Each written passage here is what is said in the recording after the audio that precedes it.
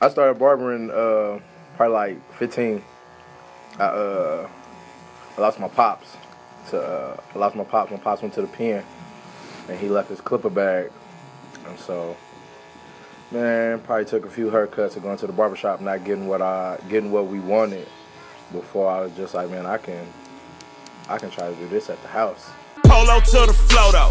You already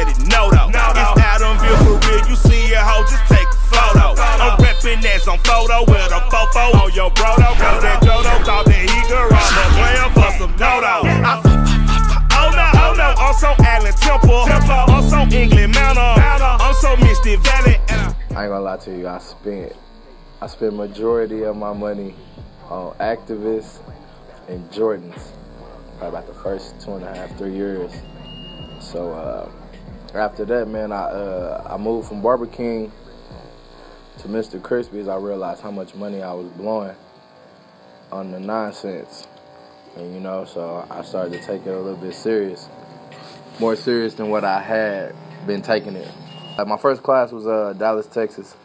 I went to a Pacino's class. Uh, shout out to that boy Norm 350. He actually, the person that I am today, he wanted me to be that a few years ago, but I wasn't trying to do all of that. I felt like it was real extra. So, you know, having true friends that really, uh, that really see more potential in, in you than to yourself, you know, it started making me take it more serious than what I was doing. I'm real big right now. I'm real big on social media. Uh, it's a lot of it's it's a lot of barbers. I really didn't take my barbering that serious until I got on Instagram. You know, and seeing seeing some dope barbers out there. It's dope. It's dope barbers out there from coast to coast, east to west. You know, man, I, I got a lot of people I look up to. You know, like E cutting my hair. Um, my boy AG at Black Label. TJ.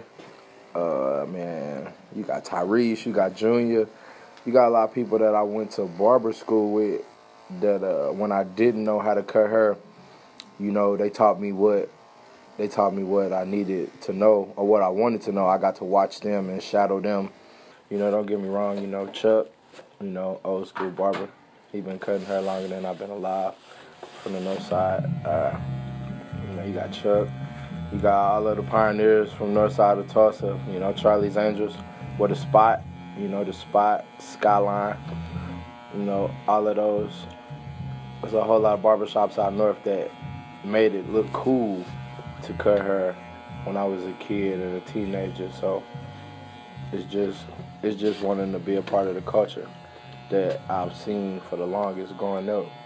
I would tell any barber right now that that look at this profession, look at this craft as a profession, something you want to pursue. Be patient. It's not you can't rush it. I mean, it took me seven years to get to where I'm at right now. So I can honestly say being patient. Being patient and being different and being willing to step outside the box in your comfort zone and do something do something that works for you. The only thing I can tell young and upcoming barbers or upcoming barber period is don't get discouraged and don't let don't let people tell you what you can and can't do. I'm finna retire the whole Chubbs the barber name. Uh, right now we going by CTB. uh, man, it's just a lot, man. I'm finna uh, I'm finna move in. I'm finally finna move into my own spot. So I'm finna have my own shop, well, my own space to cut hair. Uh, man, I'm gonna branch out. I'm gonna start doing some, uh, doing more classes, more one-on-one type stuff. Given the knowledge that I've acquired, you know, I'm gonna start giving it back. Start teaching a little bit more, and I, I got a little bit. I got a few more classes that I want to take. That's gonna really, you know, try to set me apart. You know, it's a whole lot of new stuff that's happening out here in the world that uh, people would probably love to see in Tulsa. You know, we so small, so anything big is just greatness here. So it's just a lot. I think my clients appreciate the fact that they get to grow with me. You know, like uh, You know, my boy Cuddy over there in the corner, he uh he'd been around for about seven years since we didn't start this whole thing. I I cut his hair off the first time.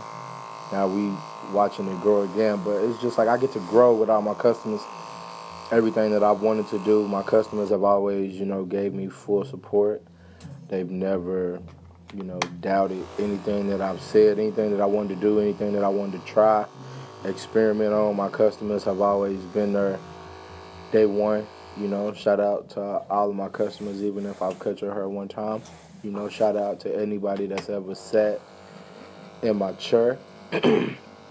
because at the end of the day, people make me. I don't make people. So you know, I have to uh, I have to give credit where credit is due. People people choose to get their hair cut by me. It's not like it's not forced. So I, I think people and my customers appreciate me because you know it's just it's taking that extra time. You know, it may be something as small as putting the scissors to their head to get all the loose hairs. It may be dusting off the hair. It may be taking that extra time on the edge up. Yeah, re-dripping a lot of sauce. to make it look as sharp as possible. It's just all of those little things that go into doing a haircut and giving a haircut, providing a service for the person, just going that extra mile.